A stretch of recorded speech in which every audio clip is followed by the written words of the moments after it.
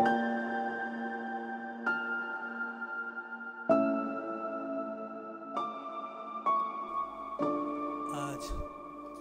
इस योग प्रशिक्षण शिविर के समापन समारोह में उपस्थित मंचा आसीन हमारे मुख्य अतिथि, पीएचयू के योग साधना केंद्र के निदेशक प्रोफेसर रामाराज राजा राम शुक्ला जी तथा केंद्र तिब्बती उच्च शिक्षा संस्थान के माननीय कुलपति प्रोफेसर वांचो दोजे नेगी जी तथा इस संस्थान के रजिस्ट्रार डॉक्टर सुनीता चंद्रा जी और deputy registrar doctor Himanshu Pandey ji तथा assistant registrar Pramod sir ji संकाय अध्यक्षगण विभाग अध्यक्षगण अधिकारीगण कर्मचारीगण और छात्र एवं छात्राओं, आप सभी का इस कार्यक्रम में हार्दिक अभिनंदन। हमारे यहाँ किसी भी कार्य को करने से पहले मंगल कामना करने की परंपरा रही है। तो आज हम मंगल चरण के साथ इस कार्यक्रम को आगे बढ़ाएँगे। तो मैं हमारे छात्राओं से निवेदन करता हूँ कि वे मंच पर आए और मंगल आ, मंगल कामना करें।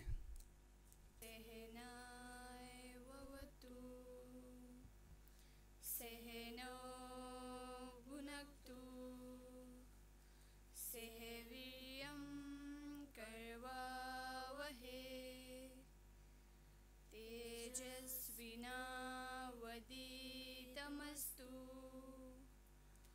मा विद्विषावहे ॐ शान्ति शान्ति शान्ति। धन्यवाद।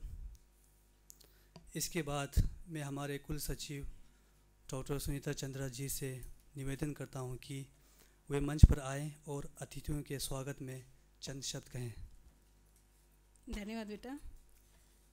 करुणा की प्रतिमूर्ति और विश्व शांति तथा सद्भाव की मिसाल। परम पावन चौदह चौदहवें दलाई लामा एवं भारत के यशस्वी तथा दूरदर्शी प्रथम प्रधानमंत्री पंडित जवाहरलाल नेहरू जी के आशीर्वाद से बोध, भारतीय दर्शन, ज्ञान, विज्ञान तथा कला के संरक्षण एवं विकास के उद्देश्य से बुद्ध के प्रथम धर्मचक्र परिवर्तन की स्थली सारनाथ में लगभग 55 वर्ष पूर्व निर्मित इस केंद्रीय उच्च शिक्षण संस्थान में मैं आप सभी का स्वागत करती हूँ। आज मैं सबसे, सर्वप्रथम प्रोफेसर राजा राम सर आदरणीय, परम आदरणीय, परम श्रद्धेय मैं क्या कहूँ?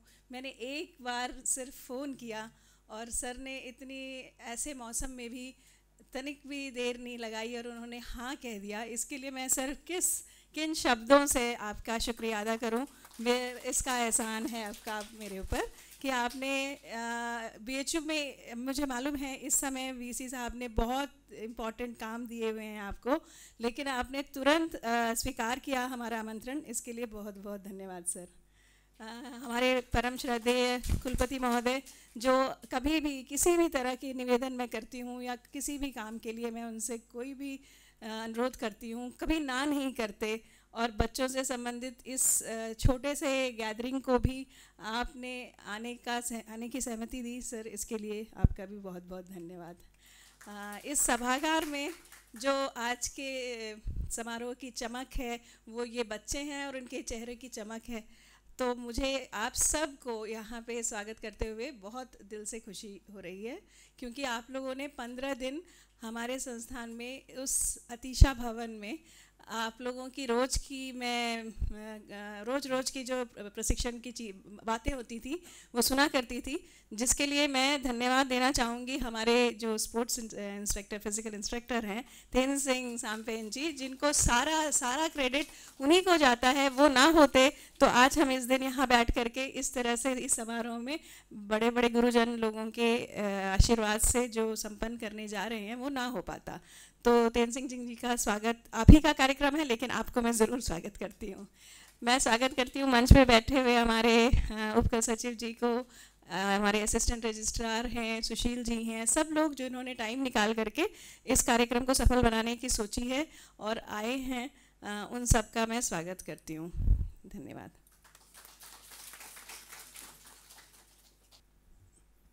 इसके बाद जैसे कि आप सबको पता है कि हमारे इस संस्थान में अंतर्राष्ट्रीय योग दिवस को 2015 से मनाया जा रहा है। तो मैं चाहूँगा कि मैं डी आर सर से अनुरोध करता हूँ कि डी आर सर से अनुरोध करता हूँ कि वे मंच पर आएँ और इस आ, योग के योग दिवस को हम जो मना रहे हैं इसके इतिहास पर कुछ प्रकाश डालें। मंचासीन परम आदरणीय प्रोफेसर वांगचुक दोरजे नेगी जी, कुलपति केंद्रीय उचित तिब्बती शिक्षा संस्थान। आज के मुख्य अतिथि श्रद्धेय प्रोफेसर राजा राम शुक्ल जी, संस्थान की कुलसचिव महोदया डॉक्टर सुनीता चंद्रा मैडम, यहाँ पे संस्थान के उपस्थित अधिकारीगण, कर्मचारीगण, स्पोर्ट इंस्ट्रक्चर प्रिय छात्र एवं छात्राओं।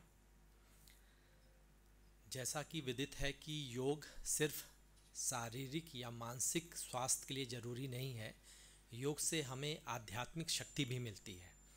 और केंद्रीय उच्च तिब्बती शिक्षा संस्थान देश की प्रगति के लिए, अपने रोल को प्रेजेंट करने के लिए, जो आध्यात्मिक शक्ति या अध्यात्म के विस्तार के लिए, अपने देश की प्रगति के लिए कृत संकल्प है।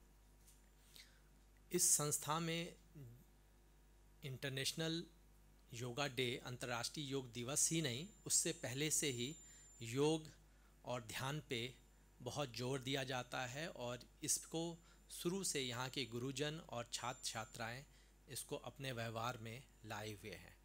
परंतु औपचारिक तौर पे जब अंतर्राष्ट्रीय योग दिवस की घोषणा हुई 11 दिसंबर 2014 को यूनाइटेड नेशन ने कहा कि 21 जून को आगे से 21 जून को हमेशा अंतर्राष्ट्रीय योग दिवस मनाया जाएगा तो 2015 से 21 जून से ये संस्थान कृत संकल्प है और 2015 से ही इस तरह के आयोजन, योग पे आयोजन होते आए हैं। विगत वर्षों में हम लोग ने कुछ कोलेब्रेशन भी किए, जैसे inter university centre for yogic sciences Bengaluru है वहाँ से भी हम लोग ने पिछले दो बार उनके कोलेब्रेशन में हमने आयोजन किया, योग का वेबिनार कराया और योग कराया और हम धन्यवाद देते हैं inter university centre for yogic sciences Bengaluru को भी कि उन्होंने हमसे कोलेब्रेट करके और फाइनेंशियल असिस्टेंस दिया। पिछले बार उन्होंने एक लाख रुपए का फाइनेंशियल असिस्टेंस दिया था हम लोग को अपने कोलेब्रेशन में। तो इस तरह से हमारा संस्थान विगत छः सात वर्षों से निरंतर योग पे कार्य करता आ रहा है। इस वर्ष योग पे sport instructor doctor Tenzin Samphel ji ने अपने उस दिन ही नहीं, योग दिवस पे ही नहीं, अपितु पंद्रह दिन का इन्होंने प्रायोजन रखा कि हम पंद्रह दिन सभी को अपने छात्र छात्राओं को, अपने कर्मचारियों को योग सिखाएँगे, योग का प्रशिक्षण देंगे, क्योंकि ये खुद बनारस हिंदू यूनिवर्सिटी से प्रशिक्षित हैं। इन्होंने बहुत अच्छा प्रशिक्षण किया और विगत पंद्रह दिन से ये निरंतर सुबह दो तीन बैचों में, बच्चों के लिए अलग बैच, कर्मचारियों के लिए अलग बैच करके इन्होंने इस कार्यक्रम का आयोजन किया, योग का आयोजन किया।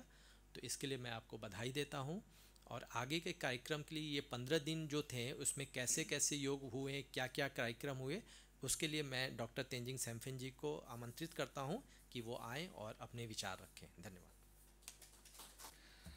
इस आंध्रपिंडा गेस्ट हाउस में उपस्थित मुख्य अतिथि प्रोफेसर राजाराम शुक्ला जी, कुलपति प्रोफेसर वांगचुक दोजी नेगी जी, कुल सचिव doctor Sunita Chandra ma'am D R Himanshu Pandey sir A R Pramod ji sir Sunil sir सहभागियों और कर्मचारीगण और छात्र छात्राओं आज मैं आपके सामने यहाँ पे ये उपस्थित हूँ कि जो अभी हमारा जो 2023 21 जून अंतर्राष्ट्रीय योग दिवस के एक प्रकार के रिपोर्ट के तौर आपके समक्ष समक्ष उपस्थित हुआ हूँ। जैसे कि, जैसे अंतर्राष्ट्रीय योग दिवस जो है, आज 2023 साल ना होके हम 2015 से भी इसमें आयोजन किया गया है। 2015 से लेके 2023 कंटिन्यूसली अभी तक आयोजन किया जा रहा है। और इस साल हमने जो अंतर्राष्ट्रीय योग दिवस जो है, वो दो कार्यक्रम में विभाजन किए गए हैं। जो पहला जो आयोजन किया था एक दिवसीय अंतर्राष्ट्रीय योग दिवस। वो जो था अंतर्राष्ट्रीय योग दिवस 21 जून जो थे उस दिन अ, कुल मिला के हमारे कर्मचारीगण कर्मचारीगण और उसके साथ साथ में छात्र छात्राओं मिला के 110 ने वहाँ पर सहभागी लिए थे। फिर उसके बाद जो हमारा पंद्रह दिन का जो योग जो लंबा योग शिविर का जो था उसमें कुल मिला के इकतीस लोग इकतीस लोग ने यहाँ पर सहभागी लिया था, वो था पंद्रह से लेके तीस तक। और इसमें हमने जो किया था कि दो बैच में इसमें विभाजन किया गया था, जैसे कि सुबह छः से लेके सात बजे तक। उसमें थे हमारा स्टूडेंट्स जो छात्र छात्राओं थे, वो आते थे और उसमें प्रशिक्षण के लिए वहाँ पे सहभागी होते थे। फिर उसके बाद जो सात पंद्रह से लेके आठ पंद्रह तक जो वो जो बैच था, वो स्टाफ, कर्मचारीगण और उनके जो बच्चे बच्चियाँ जो है, उन लोगों के लिए थे। और कुल मिला के जो हमारा जो पंद्रह दिन का जो योग शिविर था, उसमें कुल मिला के इकतीस जनों ने सहभागी लिए थे। और उसमें से जो पुरुष थे, वो तेरह लोग थे और जो महिला थे, वो बारह लोग थे और भिक्षु जो थे, वो छः लोग थे। अब जैसे हम स्टाफ में माना जाए तो सौ डिपार्टमेंट से चार लोग आए हुए थे। रजिस्ट्रार ऑफ़िस से दो लोग ने सहभागी लिया था और एडमिनिस्ट्रेशन वन से एक लोग, मल्टीमीडिया से दो लोग और जो स्टाफ का, जो कर्मचारी के जो बच्चे जो है, वो कुल मिला के छः लोग थे। ये रहा हमारा कर्मचारी गण का एक संख्या, जितना आए हुए थे। इसके बाद जब हम सेकेंड बैच छः थे, सात से लेके आठ तक तो उसमें जो बच्चे जो आए हुए थे, वो कुल मिला के सोलह थे। उसमें से सौ से नौ लोग थे फिलोसॉफी से चार लोग थे और पीएचडी स्टूडेंट्स तीन लोग थे। तो ये रहा एक एक प्रकार का रिपोर्ट जो अंतर्राष्ट्रीय योग दिवस में जो हमने दो कार्यक्रम आयोजन किया गया था तो ये एक छोटा सा रिपोर्ट हो गया। और इस जितना भी जो हम अंतर्राष्ट्रीय योग दिवस जो मनाए गए हैं, बिना बिना कुलपति जी और कुल सचिव की सहायता के बिना ये कभी भी संभव नहीं हो सकते थे। तो भविष्य में भी एक अपेक्षा रखते हुए कि ऐसे ही सपोर्ट मिलता रहे। इसके अपेक्षा के साथ अपनी वाणी को यहाँ पे विराम देना चाहता हूँ। धन्यवाद।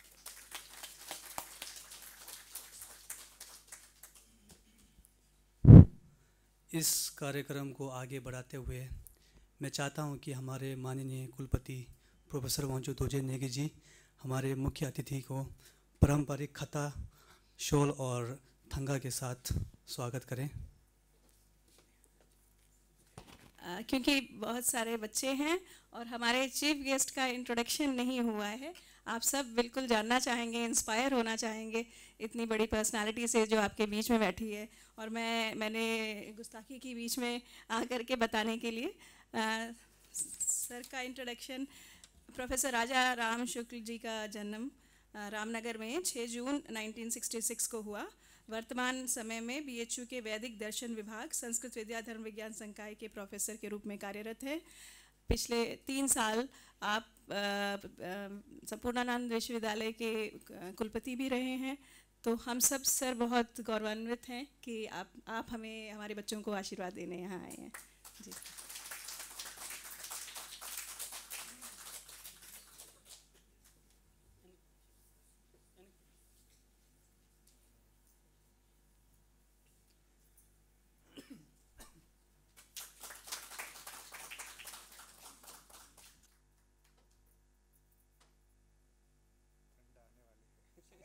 डर लग रहा है।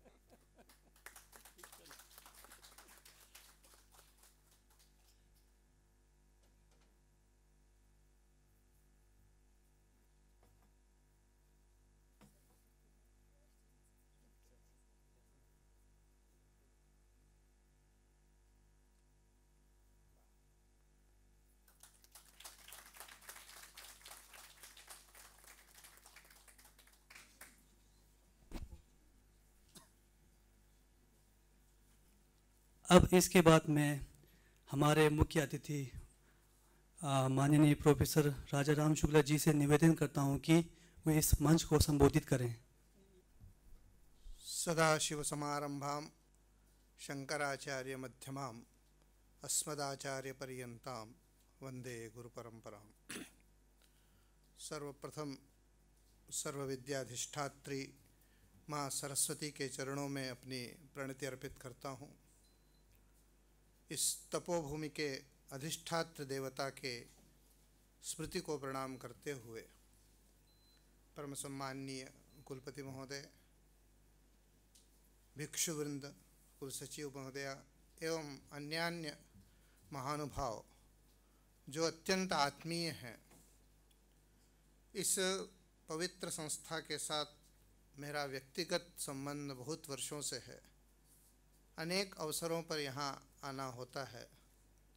शास्त्रीय चर्चा हो या अन्य भी कोई आयोजन हो, यहाँ आने का अवसर मिलता है। सभी आत्मीय हैं। जब भी परम पावन जी का आगे यहाँ आगमन होता है, परम पावन जी को शास्त्र चर्चा बहुत ही प्रिय है। वो विद्वानों को बैठा करके शास्त्र चर्चा करते हैं और उन सभी अवसरों पर मुझे भी आने का अवसर मिला। ऐसे विषयों पर जहाँ पर बौद्ध दर्शन और भारतीय न्याय दर्शन के मध्य संवाद हो सकता है, वो यह नाम भी वो संवाद देते थे dialogue dialogue between Buddhist and Indian Vedic logic ऐसा कुछ भी। डायलॉग शब्द का प्रयोग अक्सर करते हैं। उस संवाद में भी मुझे आने का अवसर मिला। अनेक ऐसे अवसर हुए जहाँ पर इस संस्था के साथ हमारी सहभागिता हुई। इसलिए अपने घर में आने के लिए किसी प्रकार के भी औपचारिकता की आवश्यकता नहीं थी।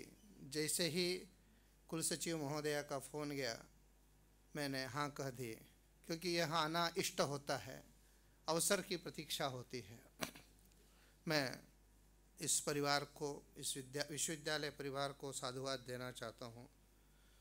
मैं अभिनंदन भी करना चाहता हूँ प्रत्यक्ष रूप से कि इस विश्वविद्यालय को प्रथम बार, प्रथम प्रवेश में ही नैक ने अत्यंत उच्च श्रेणी प्रदान की। और मुझे विश्वास है कि उस अपेक्षा में यह विश्वविद्यालय आगे बढ़ता रहेगा। विगत पंद्रह दिनों से यहाँ पर योग प्रशिक्षण का कार्यक्रम चल रहा है। योग, योगासनों की विभिन्न क्रियाओं का यहाँ प्रशिक्षण कराया गया और मुझे बताया गया कि छात्रों के साथ साथ अध्यापकों और कर्मचारियों ने भी यहाँ प्रवेश लिया, इसमें सहभागिता ली। यह अत्यंत उत्साहजनक और प्रसन्नता का विषय है कि पूरा परिवार इसमें संलग्न रहा और यही योग शब्द की सार्थकता है। योग मतलब जुड़ना, किसी रूप में जुड़ना। शारीरिक रूप से, वैचारिक रूप से, मानसिक रूप से, आध्यात्मिक रूप से, किसी न किसी रूप में हम एक दूसरे से सब जब जुड़ते जाते हैं तो यह योग शब्द की सार्थकता होती है। यह जुड़ाव एक विशेष प्रकार का जुड़ाव है। यह ऐसा जुड़ाव है जिसमें आत्मीयता तो होती है, लेकिन आसक्ति नहीं होती है। युंज कुरन्नेवेह कर्माणी। कुरन्नेवेह कर्म करते हुए हम योग करते रहें। योगस्थ कुरु कर्माणि संगम त्यक्वा धनंजय। ऐसा भगवत गीता में योग की स्थिति बताएगी। योग करें हम, कर्म में अपने आप को जोड़ लें। लेकिन संगम त्यक्वा आसक्ति न करें। उसके फल के प्रति आसक्ति न करें। उसमें ममत्व न लाएँ। किंतु कर्म करते रहें, तभी योग की स्थिति को हम प्राप्त कर सकते हैं। कर्म से विरक्ति नहीं होनी चाहिए। योग का लक्षण भगवत गीता में कहा गया है, योग कर्मसु कौशलम। बहुत प्रसिद्ध है। कर्म में कुशलता ही योग है। ऐसा सामान्य अर्थ माना जाता है। लेकिन मैं एक अलग व्याख्या इसकी करता हूँ। थोड़ा विपरिणाम करके। कर्मसु योग कौशलम। हम कर्म में अपने आप को लगा दें। जो कर्म हमारे लिए निर्धारित किया गया है। जैसे मैं अध्यापक हूँ। अध्यापन कर्म के लिए मेरी नियुक्ति हुई है। मैं उस कार्य में लगा रहूँ। अपने आप को उस कार्य में लगा दूँ। यही कुशलता है। यही स्किल है। कर्म में अपने आप को लगा देना और इससे जो विरत होता है, वह अकुशल माना जाता है, वह श्रेष्ठ नहीं माना जाता है। अध्यापक पद पर नियुक्त होकर अध्यापन कार्य न कर करके दूसरे दूसरे कार्य करना, छात्र होकर के प्रवेश ले, लेना, किंतु अध्ययन न कर करके दूसरे दूसरे कार्य करना, कर्मचारी का वेतन लेकर के कार्यालय में आना और दूसरे कार्य करना दिए हुए कार्य को न करना, यह कर्मसु अयोग है। अपने आप को कर्म से विरत करना, निर्धारित कर्म से अलग करना, यह अकुश, अकुशलता है, यही अकौशल है। और भगवत गीता इसी को व्याख्यायित करती है कि जब हम कर्म में अपने आप को युक्त कर लेते हैं तो यही हमारी कुशलता मानी जाती है, यही कौशल है। इस चीज़ को हमें सीखना होगा। जब हम कर्म में लगे रहेंगे, तभी हम श्रेष्ठ माने जाएँगे। निर्धारित कर्म में अकर्म निष्क्रिय व्यक्ति कभी भी नहीं रह सकता है। हम अध्यापन नहीं करेंगे, केवल सोएँगे ऐसा होता नहीं है। फिर हमारा खाली दिमाग शैतानी करेगा। इसलिए निष्क्रिय होना तो संभव ही नहीं है, लेकिन कर्म में लगने का अर्थ होता है निर्धारित कर्म में लगना, जिसके लिए आप नियुक्त हैं, उस कार्य में लगना यही कर्मसु योगा है और यही कौशल है, यही योग शास्त्र सिखाता है। हम जो आसन अभी सीख रहे हैं, वो तो एक सामान्य प्रारंभिक चीज़ है। वास्तविक योग में प्रवेश करने का मार्ग है। आसन से पहले भी दो चरण हैं, यम और नियम। यम और नियम में जब हम अधिकार प्राप्त कर लेते हैं, सिद्धता प्राप्त कर लेते हैं, तभी हम आसन के अधिकारी होते हैं। आसन में प्रवेश करने का हक हमें मिलता है। किंतु आसन भी हमें केवल शारीरिक स्वास्थ्य देता है, ऐसा नहीं सोचना चाहिए। आजकल जो योग के नाम पर दुकानें खोली जा रही हैं, व्यापार हो रहा है, केवल शारीरिक सौष्ठव बनाने के लिए योग का नाम दिया जा रहा है और कुछ व्यायाम एक्सरसाइज करा दी जा रही है। इस तरह की संस्थाएँ, चाहे वो काशी हिंदू विश्वविद्यालय हो, संपूर्णानंद विश्वविद्यालय हो या तिब्बती, केंद्रीय तिब्बती विश्वविद्यालय हो, इनकी स्थापना ही इसलिए हुई है कि हमारे शास्त्रों का जो वास्तविक स्वरूप है, वह समाज के सामने आए, विश्व के सामने आए। महामना ने, महामना पंडित मदन मोहन मालवीय जी ने जब काशी हिंदू विश्वविद्यालय की स्थापना की थी तो उनका एकमात्र लक्ष्य था कि यहाँ से शिक्षित छात्र केवल विद्वान बनकर न निकले, केवल कुशल बनकर के निकले, वह एक मनुष्य बनकर निकले। और मनुष्य तभी बन सकता है जब वह भारतीय संस्कृति के वास्तविक स्वरूप को समझे और दूसरों को समझा सके। इसलिए हमारे शास्त्रकारों ने जितने भी आप लोग ने आसन यहाँ सीखे होंगे, वो सारे आसन प्रकृति से प्राप्त किए। भुजंगासन प्रकृति से मिला, ताड़ासन, वृक्षासन, सब नाम वही है, प्रकृति से प्राप्त होने वाले वृक्षा ये आसन है। प्रकृति जितनी स्वस्थ रहती है, अगर हम प्रकृति का दोहन छोड़ दें, प्रकृति के प्रति उतना ही सम्मान करें जितना वात्सल्य प्रकृति हमारे साथ करती है तो हम भी प्रकृति की तरह स्वस्थ होंगे, प्रकृति की तरह हरे भरे होंगे, प्रकृति की तरह स्वाभाविक रूप से, स्वतंत्र रूप से विचरण कर सकेंगे। इसलिए इन सभी आसनों को नाम और काम दोनों प्रकृति से प्राप्त हुए हैं। आप कोई भी आसन ले लीजिए, किसी का भी शवासन तिरक मंडूकासन तिरक भुजंगासन, जितने भी आसन हैं, आप उन चीज़ों को, हमारे ऋषियों ने प्रकृति के आचरण को देख करके और उन आचरण के द्वारा प्रकृति को, अथवा प्रकृति में जी रहे जंतुओं को जो स्वास्थ्य प्राप्त हो रहा था शारीरिक अथवा मानसिक, उस स्वास्थ्य का रूपी परिणाम को देख करके इन आसनों का आविष्कार किया है। ऋषियों ने इस तरह से नहीं, कुछ स्वास्थ्य इनका हो जाए, कुछ शरीर बलिष्ठ हो जाए, इस दृष्टि से नहीं, एक बहुत बड़ा अनुसंधान किया, रिसर्च किया। ये हमारी जो प्राचीन रिसर्च मेथोडोलॉजी थी, जिसकी हम लोग चर्चा करते हैं कि शास्त्रकारों ने बहुत कुछ पहले ही अनुसंधान कर दिया और एक केवल अनुसंधान नहीं किया है, एक रिसर्च मेथोडोलॉजी डेवलप की है। आज पाश्चात्य विचारक लोग कहते हैं कि ये रिसर्च मेथोडोलॉजी नाम का एक शास्त्र हमने अभी अभी विकसित किया है कुछ वर्षों पूर्व। ऐसा नहीं है। हमारे हज़ारों हज़ारों शास्त्र वर्ष पूर्व हमारे शास्त्रकारों ने वह अनुसंधान किया जीवित अनुसंधान किया और उस अनुसंधान का फल देखते हुए आविष्कारों, आविष्कार किए और उस आविष्कार का फल हम लोग आज भोग रहे हैं। उन आसनों को का अनुसंधान करते हुए, उन आसनों का आचरण करते हुए।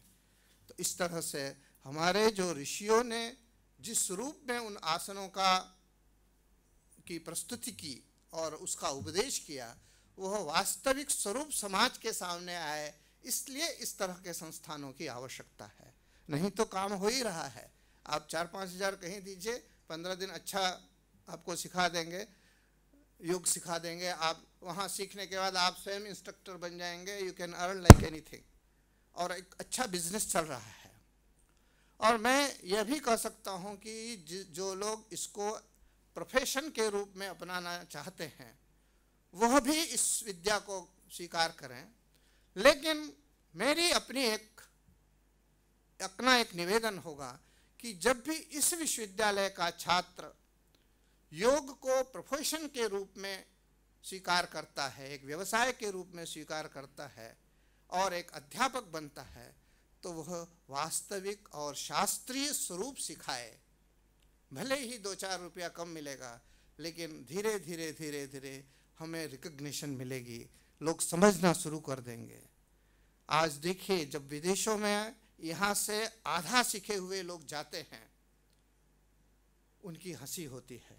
क्योंकि उन लोगों ने समझ लिया है कि हमारे भारतीय ऋषियों ने शास्त्रों के वास्तविक स्वरूप को किस तरह से प्रस्तुत किया है, वे लोग अध्ययन से और अनुसंधान से जान चुके हैं। हमारे लोग जब आधा सीख करके वहाँ सिखाने जाते हैं तो उनका उपहास होता है। इस उपहास से हम बचें। या तो जाए ना, जाए तो पूरा परिपक्व होकर जाए। किसी भी प्रश्न का उत्तर देने के लिए हम तैयार होकर जाए। और हम अगर बाहर कहीं जा रहे हैं तो लगे कि एक भारतीय प्रशिक्षक यहाँ आया हुआ है। भारतीय प्रशिक्षक का होने का मतलब कि वास्तविक शास्त्र के स्वरूप को प्रदर्शित कर सके, भारतीय संस्कृति और सभ्यता को प्रस्तुत कर सके। ऐसे इस दृष्टि से ही हमारे सरकारों ने इस प्रकार के संस्थाओं की स्थापना की है और परम पावन का तो बहुत बड़ा उपकार है। कि उन्होंने इस प्रकार की संस्थाएँ भारत में कई जगह पर स्थापित की हैं। और जहाँ तक योग शास्त्र का प्रश्न है, बौद्ध दर्शन, बौद्ध शास्त्र में तो योग शास्त्र का बहुत विवेच, बड़ा व्यापक विवेचन है।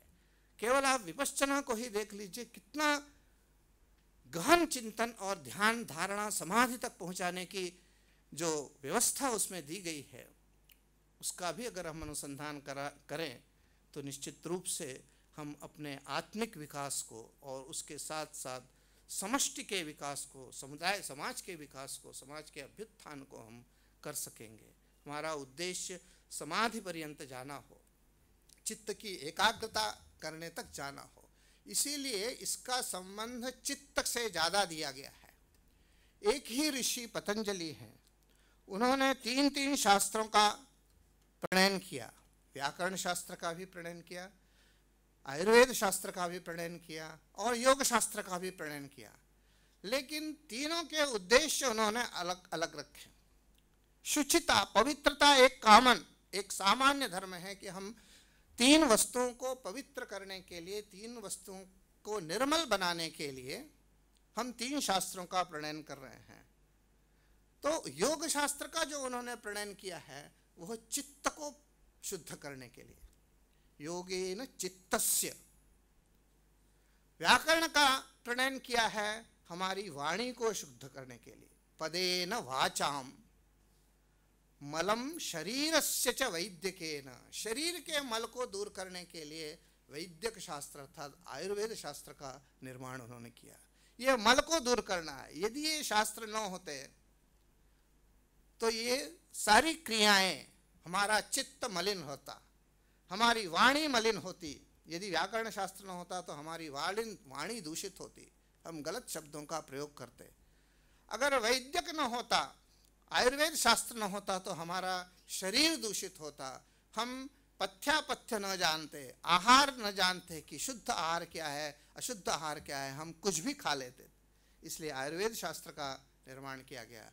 लेकिन अंततो गत्वा हमें चित्त शुद्धि की अपेक्षा है, इसलिए उन्होंने योग शास्त्र का निर्माण किया, अन्यथा हमारा चित्त मलिन होता। चित्त का मलिन होना सबसे खतरनाक बात है। आज आप देख रहे हैं, एक राष्ट्र दूसरे राष्ट्र पर कब्जा करने का प्रयास कर रहा है और वर्षों से वो कर रहा है। दूसरे की सीमा में प्रवेश करने का प्रयास कर रहा है। अपनी सीमा से उसे संतोष नहीं है। वो हमारे देश में प्रवेश करने की कोशिश करता है। किसी दूसरे के पर अपना बल का प्रयोग करने की कोशिश करता है। यह उसका चित्त का मालिन्य है। हमारे भारतीय संस्कृति में यह कहीं भी नहीं है कि हम दूसरे के सत्व पर दृष्टि रखें। हमारा उपनिषद, हमारा वैदिक शिक्षण तो तेन त्यक्तेन बुंजी था है। हम त्याग पूर्वक भोजन करना चाहते हैं। अगर हमारे पास दो रोटी है तो एक रोटी अतिथि के लिए रखना चाहते हैं। एक रोटी मित्र के लिए रखना चाहते हैं तो यह हमारी हमारी संस्कृति है। इस संस्कृति का वास्तविक स्वरूप जिस देश ने, जिस व्यक्ति ने, जिस राष्ट्र ने नहीं समझा, वह इस प्रकार की प्रवृत्ति में लगा हुआ है। वह दूसरे पर आक्रमण करता है, दूसरे का छीनना चाहता है। यह चित्त का मालिन्य है। इस चित्त के मालिन्य को दूर करने के लिए यम से लेकर के समाधि पर्यंत आठ चरणों में चित्त शुद्धि की प्रक्रिया बताई गई है और आसन उसमें से एक चरण है, तृतीय चरण है। उसको बीचों बीच एक स्थान दिया गया है कि यहाँ तक पहुँचना है यहाँ से आगे की जर्नी करनी है। आगे का हमें यात्रा यहाँ से शुरू करके समाधि पर्यंत जाना है, तभी हमारी चित्त शुद्धि होगी, चित्त की एकाग्रता होगी, चित्त का विक्षोभ नहीं होगा। इस तरह से ऐसे आसनों का यहाँ प्रशिक्षण दिया गया और पूरा परिवार यहाँ लगा हुआ था।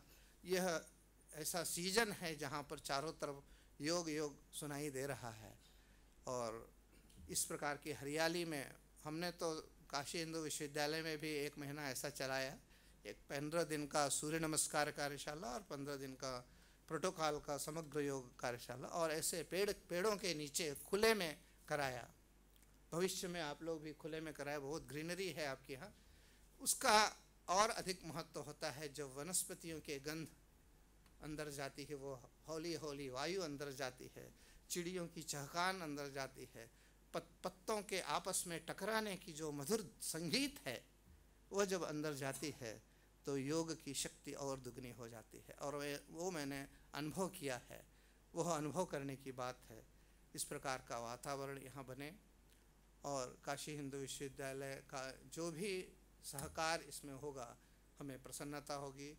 हम दोनों संस्थाएँ मिल कर के भारतीय शास्त्र संपदा को बढ़ाने के लिए कुछ भी कर सकते हैं। अभी मालवी भवन में विगत तीन माह से शास्त्रार्थ,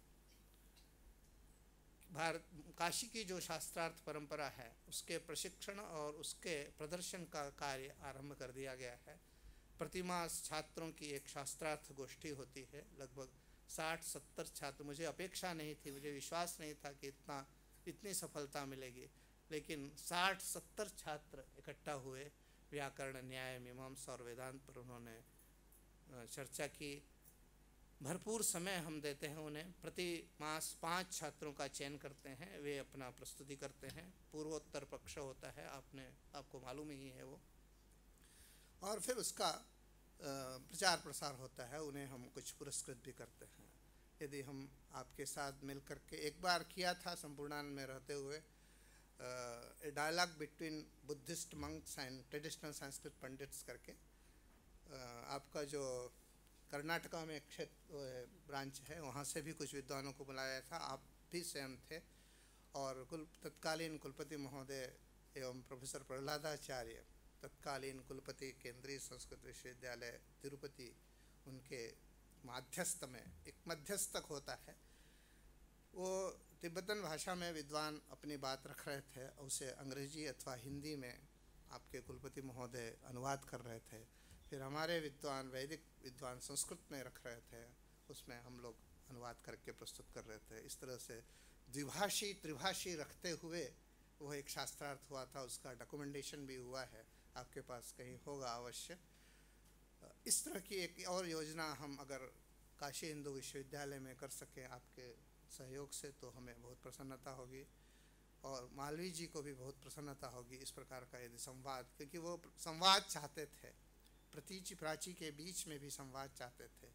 प्राची के बीच में भी संवाद चाहते थे और प्रतीचि के बीच में भी संवाद चाहते थे। इसलिए आप जानते हैं कि काशी हिंदू विश्वविद्यालय में अति प्राचीनतम विद्याओं का अध्ययन करने के लिए भी एक निकाय है और अत्याधुनिक विद्याओं के भी निक पढ़ाने के लिए संकाय और विभाग रखे गए हैं। विश्व में कोई भी ऐसी विद्या नहीं है जो काशी हिंदू विश्वविद्यालय में नहीं पढ़ाई जा रही हो। तो वो दृष्टि महामना की थी, वो संवाद चाहते थे कि एक तरफ़ modern scientist and technologist sit together और इधर हमारे शास्त्रकार पंडित बैठे एक संवाद बने और काशी हिंदू विश्वविद्यालय एक प्लेटफॉर्म के रूप में आए, जहाँ पर वो संवाद करे और उस संवाद का प्रतिफलन विश्व को दिशा निर्देश करे। क्योंकि आप अनुभव करते होंगे कि जो विशुद्ध टेक्नोलॉजी है, शुद्ध, जिसमें शास्त्र का संपोषण नहीं है, वह अधिकांशतः, मुझे कहना नहीं चाहिए, लेकिन अधिकांशतः अनर्थ करती है। जन कल्याण के लिए आत्म सुरक्षा के लिए हम शस्त्रों का निर्माण करते हैं, लेकिन उसका प्रयोग हम कहाँ करते हैं? दूसरों को, का दमन करने के लिए करते हैं। अगर यही, इन्हीं शस्त्रों के निर्माण करते समय हमारे और उसका प्रयोग करते समय हमारी भारतीय चिंतन परंपरा को भी अध्ययन किया गया होता, वैदिक उपनिषदों का भी अध्ययन किया गया होता तो निश्चित रूप से हम यह समझ सकते थे कि आर्तत्राणाय व शस्त्रम न प्रहर तुम अनागसी। कितने हज़ारों वर्ष पूर्व हमारे ऋषियों ने कहा है कि ये जो शस्त्र आप लेकर चल रहे हो, चाहे आप सिपाही हो या राजा हो या कुछ भी हो, ये जो शस्त्र लेने के लिए कर, चल रहे हो, वो दुर्बलों की रक्षा करने के लिए है। दूसरों पर प्रहार करने के लिए नहीं है, अपना बल दिखाने के लिए नहीं है। भगवान बुद्ध ने एक ऐसे ही आतताई को युद्ध से विरत किया था। ऐसा ही व्यक्ति जो युद्ध करके अपने ही बंधुओं को नष्ट करना चाहता था। राज्य का विस्तार अनावश्यक रूप से करना चाहता था। उसको युद्ध से विरत किया, उसको सन्मार्ग में लगाया, सनातन पथ पर लगाया। इसका यही कारण था कि उसे शास्त्रीय बोध नहीं था। वो उसमें बल था, पराक्रम था, शस्त्र विद्याएँ थी, लेकिन वह औपनिषदक जो हमारे वेद सम्मत सनातन शिक्षा थी, वो नहीं थी। वह भगवान बुद्ध ने उसको दी। इस तरह के जो चिंतन है, उस चिंतन की इस समय हमारे विश्व को बहुत आवश्यकता है और इस, यह संस्थान इस कार्य में अग्रगामी होगा, यह मुझे पूरा विश्वास है और बहुत से ऐसे कार्य हैं जो इस संस्थान के द्वारा हो रहे हैं। माननीय कुलपति महोदय, बहुत बड़े विद्वान हैं तर्कशास्त्र के। मेरा भी वही विषय है, इसलिए इनसे बहुत ज़्यादा प्रेम रहता है। मेरा, मेरे ऊपर इनका बहुत आशीर्वाद भी रहता है। इतने बड़े विद्वान होते हुए भी इतनी उदारता के साथ चले आते हैं और मिलते हैं, बात करते हैं। आपका ऐसा ही अनुग्रह आगे भी बना रहे। मैडम चंद्रा तो हमारे अत्यंत आत्मीय हैं, हमारे विश्वविद्यालय से आई हुई और उनके अनुभवों का आप लोग को बहुत लाभ मिले। नई नई योजनाएँ आपके यहाँ आएँ और मेन स्ट्रीम में किस तरह से यह विश्वविद्यालय जुड़ सके। मेन स्ट्रीम में जुड़ते हुए भी अपने मूल को संरक्षित रखते हुए जुड़े, इस पर बहुत ध्यान देना होगा। कहीं हम, ऐसा ना लगे कि हम पिछड़ रहे हैं, हम अलग थलग हैं, ऐसा ना लगे। लेकिन साथ ही यह भी ध्यान देना है कि हम जिस वजह से हैं, जो हमारा मूल है, उसको त्यागे बिना अगर हम आगे बढ़ सकें, समाज के साथ चल सकें और समाज के आगे बढ़ सकें, प्रथम पंक्ति में खड़े हो सकें तो ये ऐसा हमारा प्रयास होना चाहिए। आपने मुझे यह अवसर दिया। इसके लिए मैं बहुत बहुत धन्यवाद। आप सबका देना चाहता हूँ, माननीय कुलपति महोदय, माननीय कुल सचिव महोदय और अन्य जो लोग हैं। पुनः पुनः सबको धन्यवाद।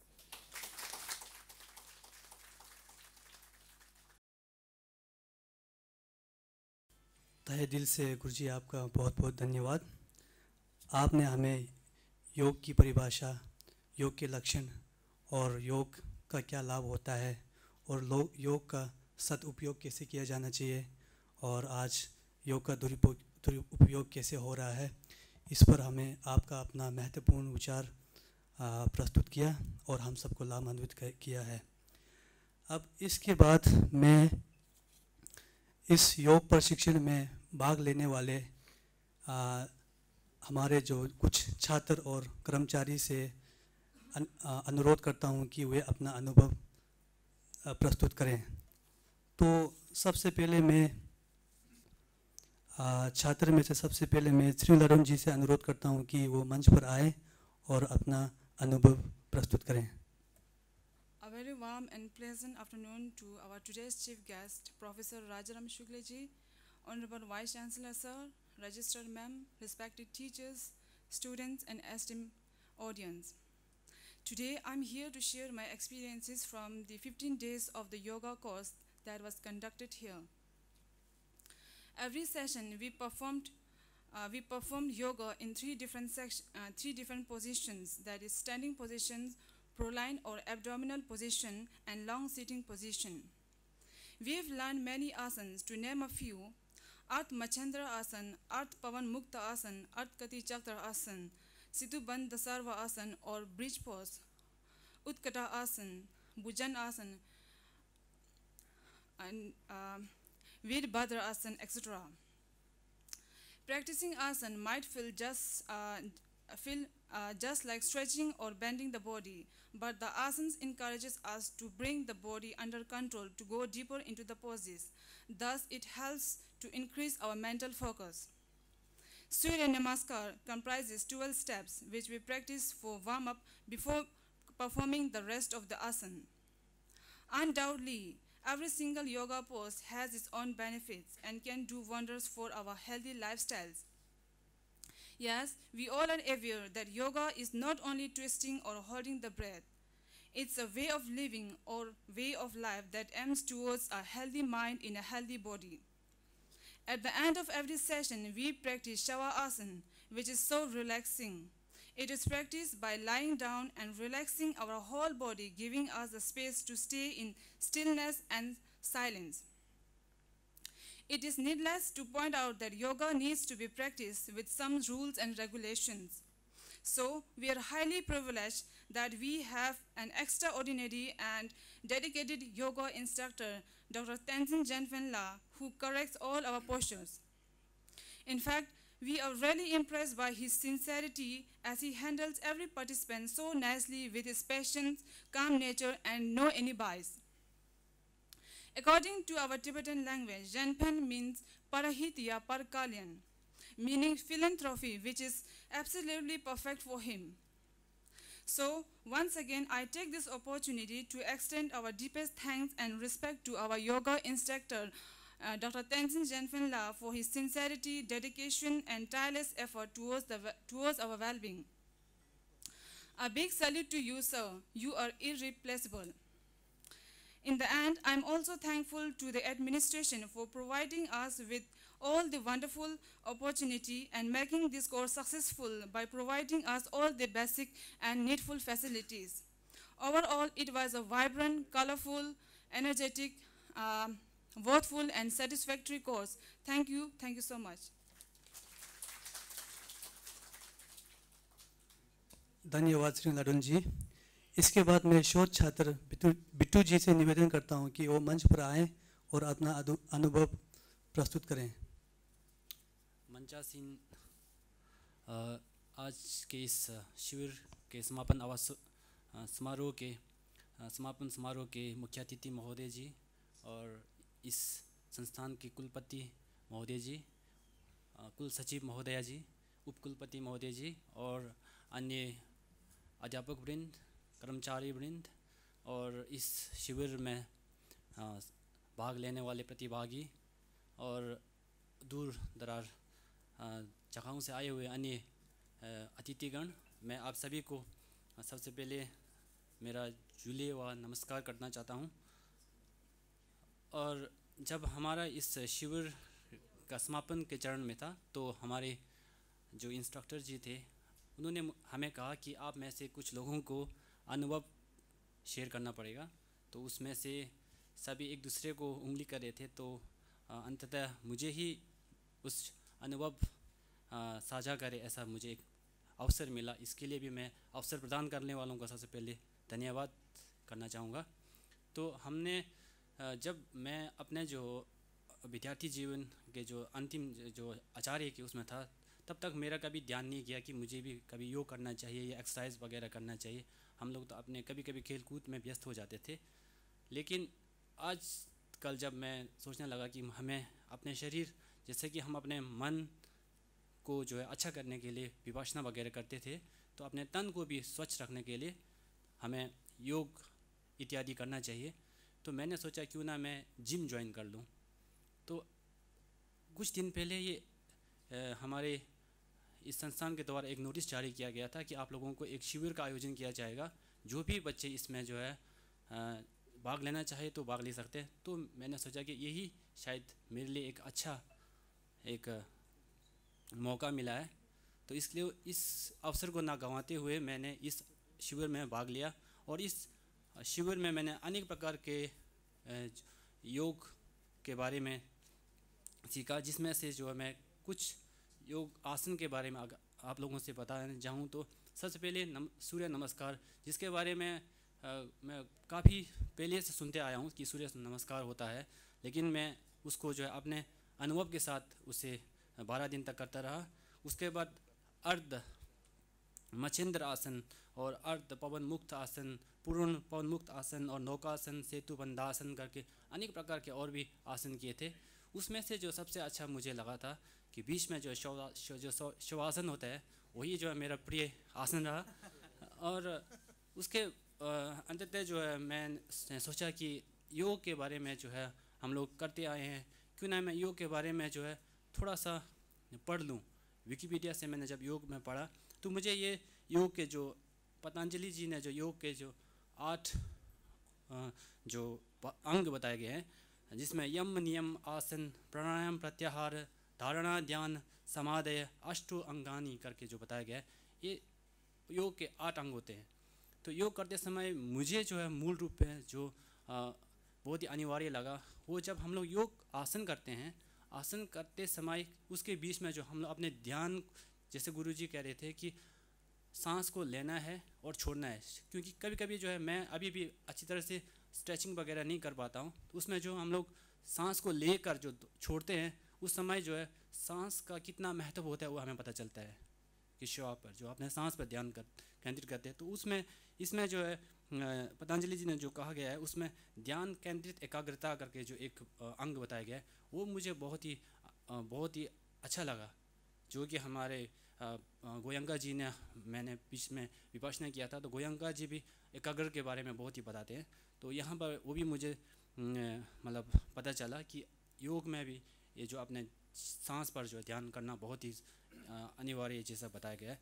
तो इस अंततः मैं जो है, इस शिविर में जो हमारे कुलपति महोदय कुल सचिव महोदया जी, आप लोग सबने जो इसमें जो हमें एक ऐसा अवसर प्रदान किया, उसके लिए आप सब, आप सभी का मैं हार्दिक आभार प्रकट करता हूँ और हमारे इंस्ट्रक्टर जी का भी धन्यवाद प्रदान करता हूँ और सभी को धन्यवाद।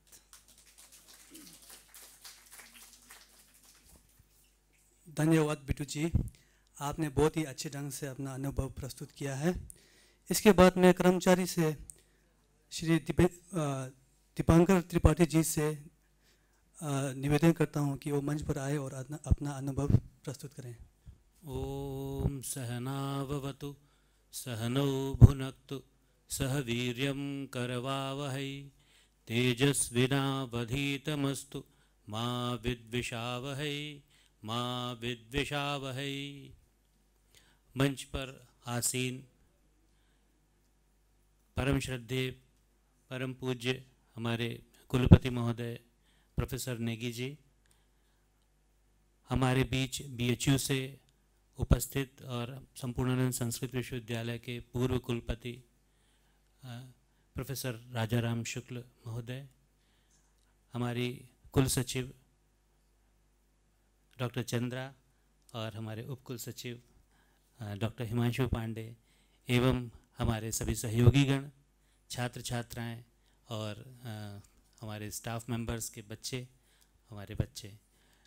आज इस कार्यक्रम में मुझे विगत पंद्रह दिनों से जारी योग प्रशिक्षण शिविर में अनुभव साझा करने के लिए आ, कुछ शब्द कहने का अवसर प्राप्त हुआ है। आ, इस अवसर पर मैं निश्चित रूप से यह कहना चाहूँगा और उल्लेख करना चाहूँगा कि योग, ध्यान, विपश्यना, साधना, आसन इत्यादि शब्दों से तो हम लोग काफ़ी समय से बचपन से ही परिचित रहे हैं, जुड़े रहे हैं। किंतु अभ्यास के रूप में करने का अवसर कभी प्राप्त नहीं हुआ, ना कोई विशेष जानकारी प्राप्त हुई। यद्यपि बाद में आगे चलकर हमारे बीच टीवी के माध्यम से बाबा रामदेव और कुछ अन्य आचार्यों की ओर से इस पर काफ़ी स्ट्रेस दिया गया, बढ़ावा दिया गया और विभिन्न चैनलों पर इसका टेलीकास्ट शुरू हुआ, जिससे आम जनता के बीच में योग साधना या योग आसन को लेकर के एक अवेयरनेस फैला। लेकिन सबसे बड़ा योगदान हमारे प्रधानमंत्री जी, नरेंद्र मोदी जी का रहा, जिन्होंने अपने आने के साथ ही 2014 में योग को जन जन तक पहुँचाने का बीड़ा उठाया और उसी के साथ साथ उन्हीं के प्रयास से अंतर्राष्ट्रीय योग दिवस के रूप में 21 जून को आ, मनाया जाने लगा जिस जिस पर हम सभी को गर्व है कि हमारे भारत की आ, परंपरा को हमारे भारत के ज्ञान को विश्व स्तर पर एक रिकग्निशन प्राप्त हुआ। उसी के साथ यह भी आ, मुझे एक सौभाग्य है कि 2014 से ही जब से हमारे यहाँ प्रशिक्षण शिविर चले हैं लगभग हर शिविर में मैं रहा हूँ और निश्चित रूप से पहली बार ही रहने के बाद ऐसा लगा कि ये शिविर एक मास नहीं या पंद्रह दिन ही नहीं बल्कि आगे भी चलते रहना चाहिए क्योंकि इससे काफ़ी लाभ प्राप्त होता है। तो इस बार भी जब यह प्रशिक्षण शिविर शुरू हुआ क्योंकि हम लोग अपने कार्य के क्षेत्र में इतने व्यस्त रह जाते हैं और हमारा चिंतन का तरीका भी सिर्फ़ कार्य क्षेत्र ही हो जाता है। घर में रहते हैं तब भी ऑफ़िस की ही बातें और ऑफ़िस में रहते हैं तो रहती ही हैं। इसके साथ साथ आ, देर तक रहना सुबह कभी देर से उठना तो ये जो पूरे जीवन का जो रोज़मर्रा की जो गति है वो सुनिश्चित नहीं हो पाती अनुशासनबद्ध नहीं हो पाती जिससे कि वो हमारा ओवरऑल हमारे जो आ, हमारे कार्यों को करने का जो तरीका है उस पर असर डालती है और जितना अच्छी तरीके से हम शायद उसको संपन्न कर सकते होते वो नहीं कर पाते हैं। तो जब इस तरह का प्रशिक्षण शिविर मिलता है तो एक तो सबसे बड़ा कि वो अनुशासन मिलने लगता है, जिससे कि हम प्रातःकाल समय से उठ करके उस समय उपस्थित हो जाएँ और इतना करने मात्र से ही एक विश्वास जागृत होता है कि हम कर सकते हैं। तो वो जो समय का पाबंदी और उसके साथ जब हम उन आसनों को करते हैं तो उससे निश्चित रूप से लाभ होता है। हमारे स्नायु तंत्र पर बहुत अच्छा असर पड़ता है और दिन भर के लिए ऐसा लगता है कि ज़्यादा फिटनेस महसूस हो रही है ज़्यादा तर ताज़ा हम महसूस करते हैं। ऑक्सीजन का लेवल शरीर में अच्छा रहता है ऐसा लगता है। नींद की वो आ, समय कम हो जाता है सोने का ऐसा लगता है कि देर से भी सोने पे जल्दी उठने में परेशानी नहीं महसूस होती है। तो ये अनेक ऐसी चीज़ें हैं जो कि करने पर ही पता चलती हैं जो करेगा उसी को जानकारी मिलेगी या उसका उसका लाभ ले सकेगा। बिना कि ये उसको आ, सिर्फ़ शब्दों में कह पाना मुश्किल है।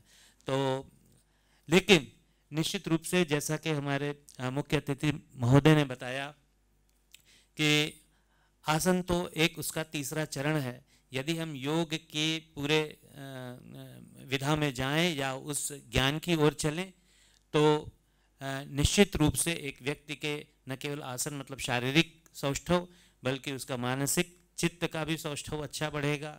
उसके अंदर पॉजिटिव विचारधाराएँ बढ़ेंगी और अपने साथ साथ, अपने साथ जुड़े हुए लोगों के साथ कैसे चला जाता है और एक अच्छी ज़िंदगी कैसे गुजारी जा सकती है, ये सब उससे प्राप्त होगा। तो ये बहुत योग के द्वारा हम लोग को इन इन पंद्रह दिनों में प्राप्त हुआ। इसी अवसर पर मुझे लगता है कि हमारे, मुझे उल्लेख निश्चित रूप से करना चाहिए हमारे योग प्रशिक्षक डॉक्टर शैम्फन महोदय का। आप बिना थके हुए और बड़े ही उत्साह से आप मतलब न सिर्फ़ ये कि उस दौरान वो हम लोगों के साथ लगातार रहते हैं, बच्चे हों, छात्र हों, कर्मचारीगण हों, अधिकारीगण हों एक एक व्यक्ति की गतिविधियों पर ध्यान देते हैं और कहीं गलत कुछ होता है तो उसको ठीक करवाते हैं, जिससे कि उस व्यक्ति का इन्वॉल्वमेंट बढ़ता है। तो आपके लिए बहुत बहुत धन्यवाद। और दोनों बैच जहाँ की छः बजे से शुरू होता था, सात बजे एक घंटा स्टाफ बच्चों के लिए और सवा सात से लेकर के सवा आठ तक कर्मचारियों के लिए। तो लगभग लगभग सुबह के तीन घंटे वो सिर्फ़ इस काम पर देते रहे होंगे। पाँच बजे से उठ जाते होंगे या और पहले से उठ जाते होंगे। और तरोताज़ा और उत्साह से लेवरेज तो ये चीज़ देख करके बहुत ही अच्छा लगता है और उसके बाद दिन भर भी एक्टिव बने रहते हैं। तो ये वास्तव में एक प्रेरणा हम सभी को मिलती है उससे तो शैम्पेन जी के लिए और लगातार ये सात आठ वर्षों से ऐसा कर रहे हैं। बीच में तीन वर्ष आप पीएचडी के लिए बीएचयू चले गए थे, उस समय हम लोग मिस किए। आप इस वर्ष पुनः आए और आपने फिर से उस चीज़ को जारी किया तो बहुत बहुत धन्यवाद। आज जिस तरह से, आज का जो हमारा अनुभव रहा, उसको भी ज़रूर शेयर करेंगे, जिस तरह से हमारे मुख्य अतिथि महोदय ने बताया, जो उनके वचन थे, इस तरह से आ रहे थे, जैसे कि हम अपनी ऋषि परंपरा से, भारतीय ऋषि परंपरा से जुड़ गए हों। तो हमारा एक योग उस ऋषि परंपरा से हुआ। बाकी उन्होंने बातें तो बहुत ही अच्छी बताई हैं। इन बातों को यदि हम थोड़ा भी मनन करें, थोड़ा भी चिंतन करें तो हमारा जीवन सोद्देश्य हो सकता है। ज़्यादा अच्छी तरह से हम अपने कर्मों को कर सकते हैं। लेकिन आपका बहुत बहुत धन्यवाद कि आपने इतने सुंदर तरीके से हमारी पूरी ज्ञान राशि को और पूरे आयुर्वेद को लो योग को मीमांसा को जिस तरह से रखा हमारे बीच में, वो वास्तव में आज का हमारा बहुत बड़ा अचीवमेंट रहा। बहुत बहुत धन्यवाद सर। और इसी के साथ मैं वाणी को विराम देता हूँ। धन्यवाद गुरुजी। अब अंत में मैं स्वास्थ्य डिपार्टमेंट से डॉक्टर चिमी ड्रोगर से अनुरोध करता हूँ कि वे मंच पर आएँ और अपना अनुभव प्रस्तुत करें। Uh, Honorable Vice Chancellor Professor Unju Dojinegiji, respected uh, Chief Guest Professor uh, Rajaram Shuklaji, and respected Register Sunita Chandraji, and respected uh, Deputy Register Dr. Himanshu Pandey sir, and uh, Assistant Register uh, Pr- Pramod Sirji, and uh, rest of all the staff and dear students. S- तो today कुछ जैसा कोई छात्रा लोग ने बताया था कुछ एक्सपीरियंस शेयर करने के लिए ऐसे ही हम लोग के अंदर भी ऐसे कुछ बातें हुआ था तो फिर बोला था कि आपको करना है क्योंकि आप बहुत साल से योग के साथ चल रहा है तो तो मैंने कुछ नहीं, ना, नहीं कह के कुछ कहने के लिए कोशिश की थी। एंड मैंने बहुत कुछ रेडी भी किया था। मैंने पहले सोचा कि concept of yoga and origin of yoga and classification of yoga बहुत कुछ मैंने रेडी करके आया, लेकिन जो हमारा मुख्य अतिथि प्रोफेसर राजाराम सर जी ने बहुत अच्छी तरह से एक्सप्लेनेशन किया है। एंड कोई छात्र लोग ने भी कुछ ना कुछ, बहुत कुछ गूगल सर्च में जाके बहुत कुछ योग के बॉडी में सिर्फ़ योगा करना नहीं योगा के साथ साथ योगा क्या है? बहुत कुछ डीप अंदर गया मुझे, ऐसा महसूस हो रहा है। एंड योग की योग कितने प्रकार की है। कुछ भिक्षुनी ने भी बताया था एंड कुछ रिसर्च स्कॉलर ने भी बताया था। एंड बहुत अच्छी तरह से कुछ कह चुकी है। तो अब मैं सोच रहा हूँ कि मेरे कहने के लिए कुछ बचा ही नहीं है, लेकिन मैं ज़रूर कुछ ना कुछ जो नहीं कहा है, वो मैं खोज के कुछ ना कुछ बताना चाहती हूँ। और हमारा फ़िज़िकल इंस्ट्रक्टर सबने तारीफ़ किया था। मैं उनको, मेरे तरफ़ से भी तारीफ़ करना चाहती हूँ, क्योंकि वो one of the youngest staff with talented staff in this university में मानती हूँ। एंड योग जो है, अभी जो हिमांशु पांडे सर जी ने बताया था कि 2014 से हमारा यहाँ शुरू हुआ है।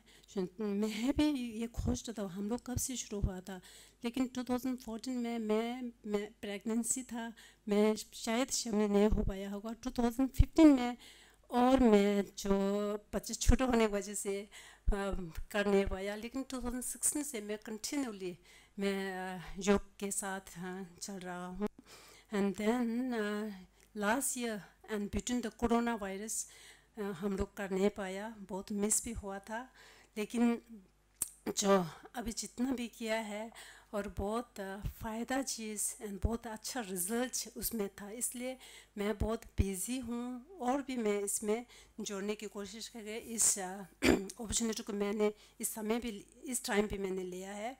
एंड देन अभी जो बहुत कुछ नहीं कहेंगी क्योंकि हम लोग को शैम्पियन जी ने बहुत कुछ योगा जो हम लोग को सिखाया था तो उस उसमें से हम मेन मेन जो है आ, इस साल का नहीं और बहुत साल की पहले से लेके थोड़ा थोड़ा वेरी इंपॉर्टेंट थिंग्स जो वो मैं शेयर करना चाहती हूँ।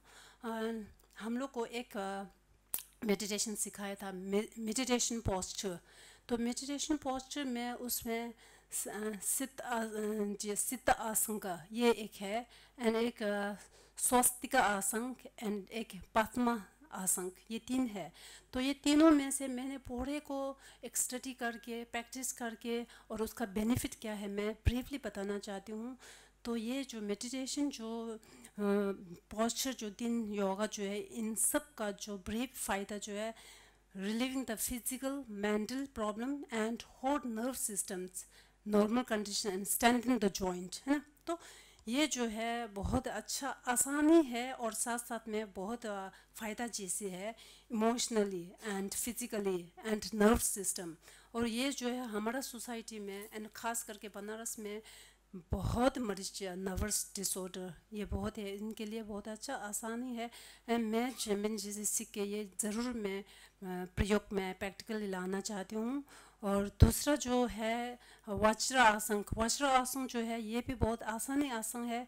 एंड लेकिन ये जो फ़ायदा जो है whole digestive system whole digestive system का इम्प्रूवमेंट कर रहा है। एंड ब्लड सर्कुलेशन के लिए भी फ़ायदा बहुत अच्छा है। एंड एब्डोमन एब्डोमिन से लेके अकबर एब्डोमिन से लेके और पूरा ऑर्गन सिस्टम को भी बहुत अच्छा फ़ायदा दे रहा है।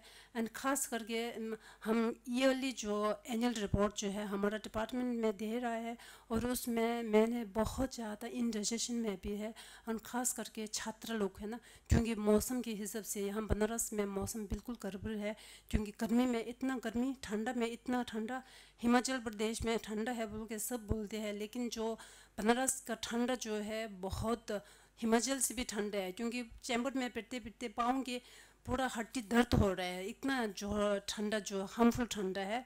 एंड दूसरा जो है, जो इंडाइजेशन प्रॉब्लम जो है, अब गर्मी है सोच के बच्चे लोग खूब पंखा चलाएँगे और ठंडा ठंडे बहुत पानी पियेंगे फिर और कपड़ा कपड़ा पहन के और खान पान की वजह से बहुत ज़्यादा इंडाइजेशन है। उसके लिए भी ये जो बहुत अच्छा फ़ायदा चीज़ है वज्र आसन ये हम सबने खेला था। And third one is relaxation posture तो रिलैक्सेशन पोस्चर में जो सब लोग बता रहे हैं कि शवा आसन शवा आसन बहुत अच्छा फ़ायदा हो रहा है। उसमें सबसे फेवरेट है क्योंकि रिलैक्सेशन बहुत मिल रहा है। सब लोग ने वो यही बात रखा था।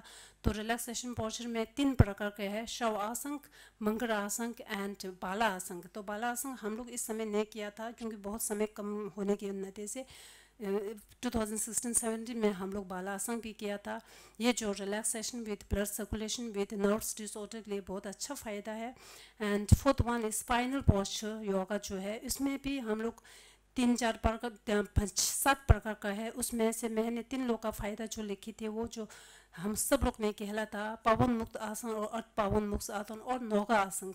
ये जो दिन है, उन इसके भी फ़ायदा बहुत है अच्छा है, पेट गैस के लिए अच्छा है कॉन्स्टिपेशन के लिए अच्छा है एंड खास करके एब्डोमिनल फैट्स जो है, बहुत लोग को इंडियन ऑर्डर लोग को भी है, हमारा स्टाफ लोग को भी है मेल फीमेल का कोई फ़र्क नहीं है, सबके पास बहुत ज़्यादा फैट है, उसके लिए बहुत अच्छा फ़ायदे है, हम लोग प्रैक्टिकल लाइफ में लाना ज़रूरी है, मैं ये सोचती हूँ। And then fifth one is abdominal posture जो पॉस्चर हम लोग ने, अभी छात्र लोग ने कहा कि तीन चार पोस्टर हम लोग खेले थे तो एब्डोमिनल जो लेट के हम लोग करने वाले में से हम लोग तीन चार प्रकार के हम लोग किया था, उसमें से भुजंग का आसन जो है और नौका आसन जो हम लोग स्पाइनल टिप में भी नौका आसन है और एब्डोमेन में भी है। तो उसमें से भोजन आसन जो है, वो फीमेल रिप्रोडक्टिव ऑर्गन के लिए बहुत अच्छा फ़ायदा चीज़ है एंड एपिटाइट के लिए। बहुत लोग ऐसा होते हैं कि सीज़न चेंज होते होते एपिटाइट नहीं है। उसके लिए भी बहुत अच्छा फ़ायदा है एंड कॉन्स्टिपेशन के लिए भी बहुत अच्छा है एंड स्पाइनल के लिए भी बहुत अच्छा है। अब सब ये जो प्रैक्टिकल लाइफ में बिल्कुल लाना ज़रूरी है, मैं सोचते हैं। And then six one is standing posture तो स्टैंडिंग पोस्चर में भी चार पाँच लोग हम लोग को सिखाया था। उसमें से मैंने, जैसे अभी जो हमारा जो मुख्य अतिथि साहब ने बताया था, बहुत कुछ नाम लेके उसमें से हम त्रिकोण का आसन किए हम लोग इस साल में नहीं किया था लास्ट टाइम में हम लोग किया था और उत्कंठ आसन इसमें भी किया था। ये सब जो फ़ायदा जो है, बहुत अच्छा फ़ायदा है। बिना कुछ खर्चा काम स्पेंड करके, हम खुद मेहनत करके बहुत कुछ शरीर में आराम मिलने का रिलीफ मिलने का क्योर होने का एंड योगा का जो फ़ायदा जो है सिर्फ़ शारीरिक नहीं, मानसिक, जैसे हमारा जो मुख्य अतिथि ने बताया था, योग जो है एक जुड़ना वर्ड का शब्द जो होते हैं yoga in Sanskrit word it's yog and it's a union you know so sir ने पूछा था, जोड़ना जोड़ना के मतलब क्या जोड़ना है? हम लोग का शरीर, मानसिक, तन एंड उसका फ़ायदा जो है सिर्फ़ शारीरिक रिलीफ नहीं, उसके साथ साथ जो लिबरेशन संज्ञ खुम्बंग ये सब का फ़ायदा जो अच्छा हो हो रहा है तो इसलिए जो हम लोग एक पंद्रह दिन में योगा करके बहुत कुछ मिलने वाला कुछ नहीं है, सिर्फ़ शरीर के लिए अच्छा है, लेकिन हम लोग लाइफ लॉन्ग साथ में चलने से हम लोग इस ज़िंदगी के, से बच के और बहुत पूरा ज़िंदगी में हम लोग का लिबरेशन मिलने का पूरा रिज़ल्ट बहुत अच्छा है। एंड लास्ट वन सूर्य नमस्कार सबका फेवरेट है। तो सूर्य नमस्कार ट्वेल्व टाइप्स का योगा जो है, ये पूरा हम लोग खेल सिर्फ़ तीन नहीं चार नहीं हम लोग सात सात बार ऐसे खेले थे। एंड बीच बीच में शव आसन करते करते सो ये जो सूर्य नमस्कार पूरा करने से क्या फ़ायदा होते है, उसका entire neuro glandular and neuro muscular systems इस सब का फ़ायदा हो रहा है and also practice enhance the supply of oxygenated blood and perfect harmony of all the system of the body तो हमारा शरीर में डीऑक्सीजनेट को निकाल के एंड ऑक्सीजनेट शुद्ध ऑक्सीजनेट मिलने के अभी बहुत अच्छा फ़ायदा हो रहा है। तो इसलिए अभी अंत में मैं कहना चाहती हूँ, जो हमारा वीसी साहब and all the administration registrar ले रजिस्टर से लेके सबने हम लोग को इतना सपोर्ट दिया है। उसके लिए मैं बहुत बहुत धन्यवाद कहना चाहती हूँ। एंड शैम्पिन जी को भी इस तरह आप करते रहे करते रहे और हम लोग को इस तरह का नॉलेज फ़िज़िकल मेंटल सब के लिए नॉलेज आप देते रहिए और फिर हम लोग के ये योग जो है हम लोग पूरा ये संस्था में आ, जब तक ये संस्थान रहे, तब तक चलते रहे एंड सब लोग स्वस्थ रहे। नमस्ते थैंक यू धन्यवाद, टोटो चिमी डोगर जी। इसके बाद योग शिविर में भाग लेने वालों को प्रमाण पत्र बांटा जाएगा। इसके लिए मैं मुख्य अतिथि और माननीय कुलपति जी से निवेदन करता हूँ कि वे प्रमाण पत्र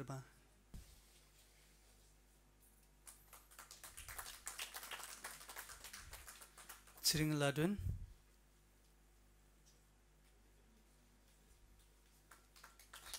Sonam Wangmu.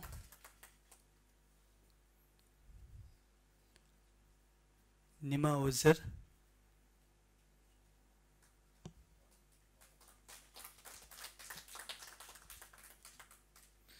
Tenzin Angmu. Kama Sewang Dulma. 군사홍무 럽상 독재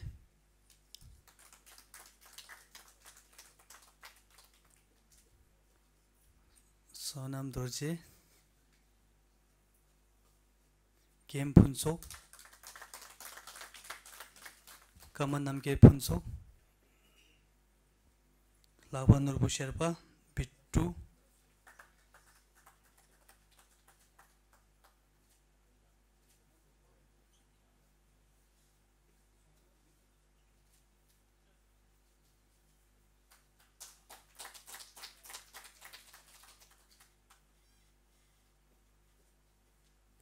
सांगे ठिले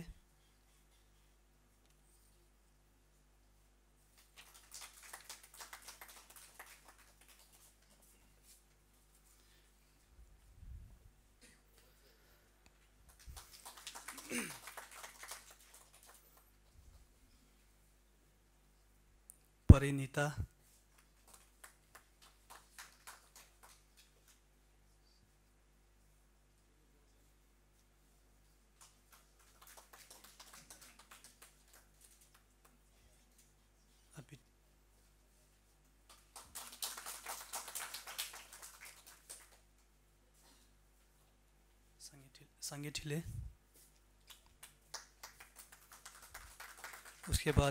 अंबिका समृद्धि सिंह आराध्यपाल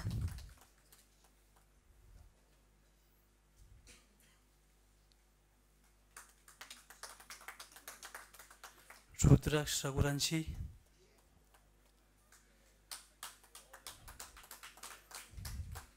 तेंजिन पेसंग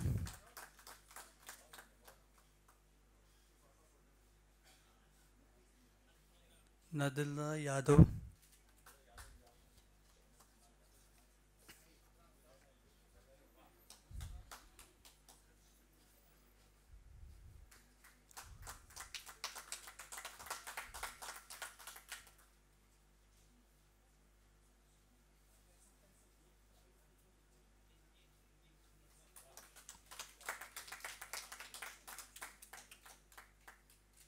नदला यादव जी। उसके बाद Deepankar sir.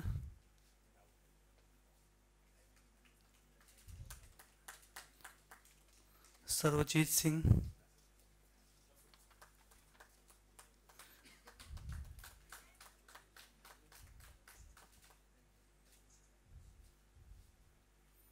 R K Mishra.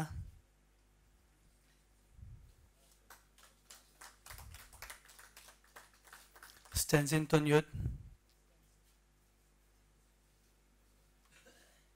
चिमी ढोकर निमा सामडुप गुरुङ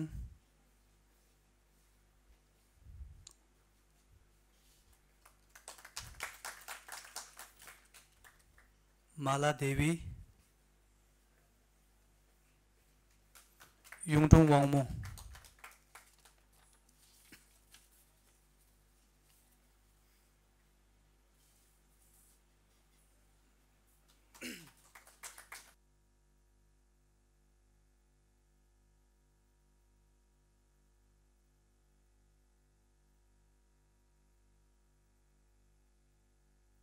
अब इसके बाद मैं हमारे संस्थान परिवार के माननीय कुलपति प्रोफेसर वंशु दोची नेगी जी से निवेदन करता हूँ कि वे हमें आशीर्वाद वाणी प्रदान करें।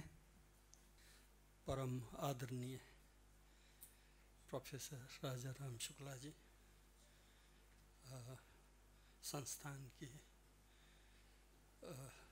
कुल सचिव मैडम सुनीता चंद्रा जी उप कुल सचिव डॉक्टर हिमांशु पांडे जी तथा सभी प्रतिभागी गण एवं अन्य कर्मचारी जो यहाँ पर पधारे हैं, उन सबका मैं स्वागत करता हूँ।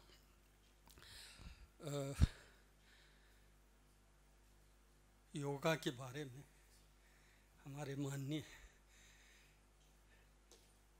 अतिथि जी ने, मुख्य अतिथि ने बहुत विस्तार से गंभीरतापूर्वक आप लोगों के सामने विचार रखा।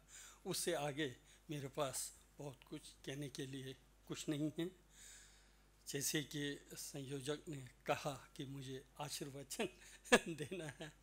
तो वास्तव में जब मैं योगा की बात करता हूँ तो सामान्यतः आज योगा शब्द जो है, बहुत विकृत हो गया है। जैसे कि माननीय मुख्य अतिथि जी ने भी कहा, योग का अर्थ जो है, क्या है?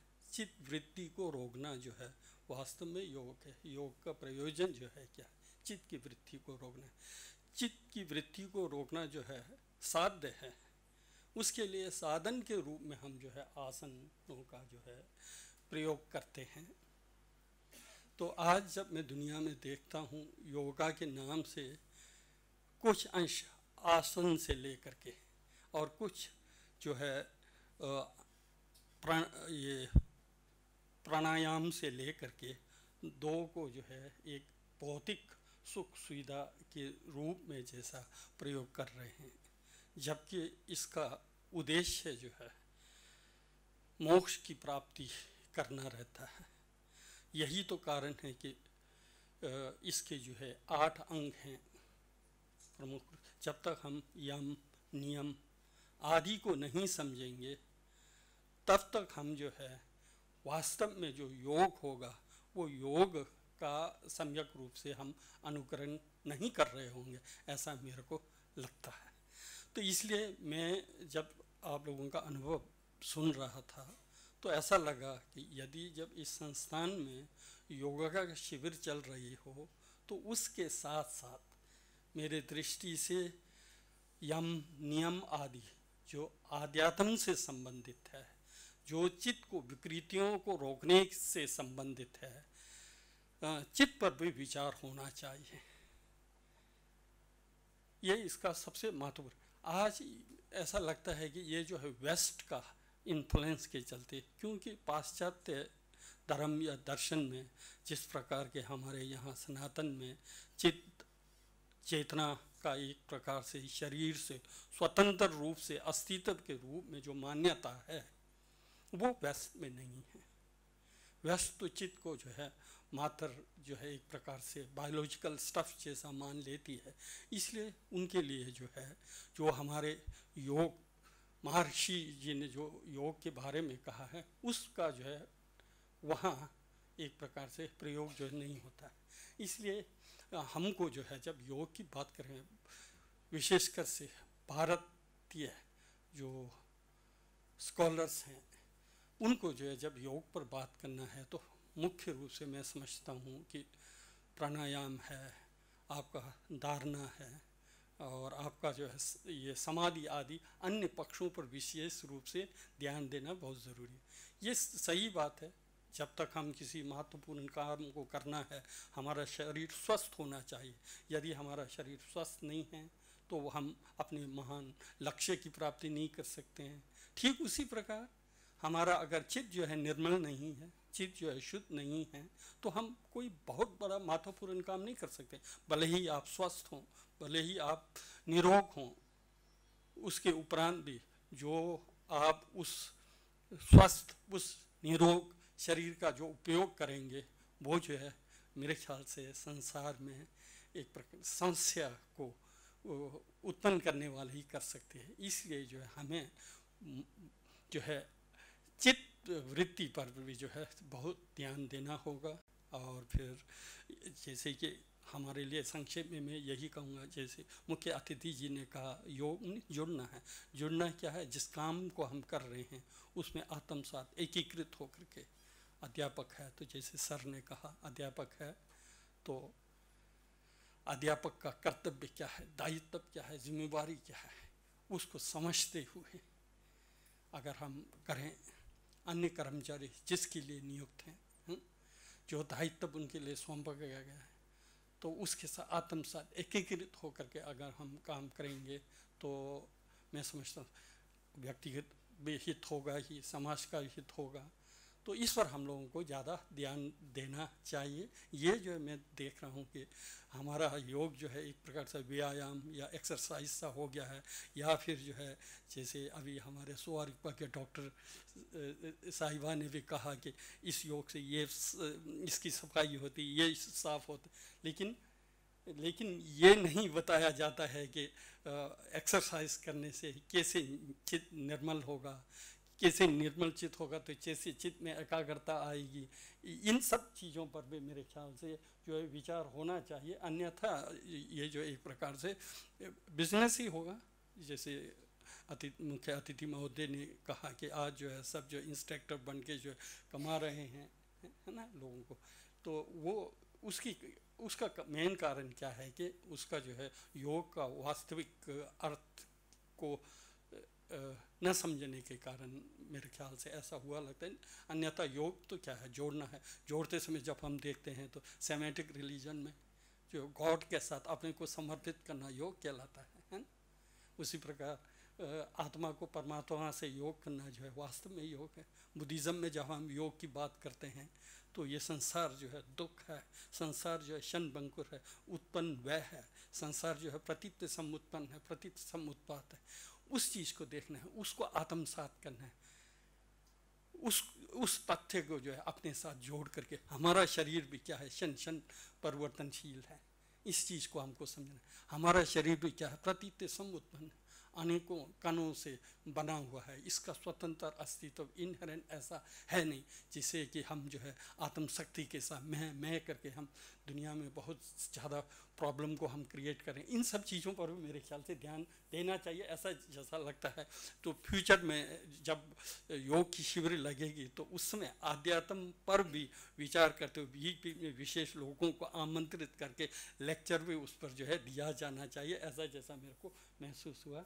और उसी के साथ जैसे प्रोफेसर राजा राम जी ने कहा कि आपके वहाँ पर बीएचयू में शास्त्रार्थ हो रहा है। मैं चाहूँगा कि हमारे अध्यापक गण भी वहाँ जाएँ, उनको देखें और फिर हम समय समय पर उनको भी हम यहाँ पर आमंत्रित करेंगे, वो भी देखें। निश्चित रूप से डायलॉग होना बहुत ज़रूरी है। अन्यथा हम लोग जो है काफ़ी दूर। कभी कभी ऐसा जैसा बहुत लोग कहते हैं, ये लोग तो शाश्वतवादी हैं, करके छोड़ देते हैं। है ना और वहीं बौद्ध समझते हैं कि ये लोग तो क्षणवाद हैं, कहीं कुछ भी नहीं अनित्यवाद है, कोई व्यवस्था ऐसा जैसा लगता है, जबकि ऐसा नहीं है। दोनों मोक्ष और मुक्ति की कामना करने वाले हैं। अगर शाश्वत है तो क्यों है? उस स्थिति को जानना। है यदि क्षण बंकुर है तो उस चीज़ को जानना है, क्योंकि वास्तव में दोनों चीज़ें हैं। शाश्वत है ही है, क्योंकि हमारा चित्त अनादि से है। हम उसको हम मानते हैं, कर्म फल को मानते हैं पूर्व जन्म को मानते हैं। अगर वो जो है शाश्वत के अंतर्गत नहीं आए तो फिर कैसे हम व्याख्या करेंगे? वहीं जब हम अनित्यता की बात करें, वो तो प्रेजेंट हम देख रहे हैं, अनुभव कर रहे हैं, क्षण क्षण बदल रहा है, उसको भी हम रिजेक्ट नहीं कर सकते हैं। इसलिए जो है, एक साथ बैठ करके तो डायलॉग हो, मैं चाहूँगा वो तो भविष्य में निश्चित रूप से मैं प्रयास करूँगा।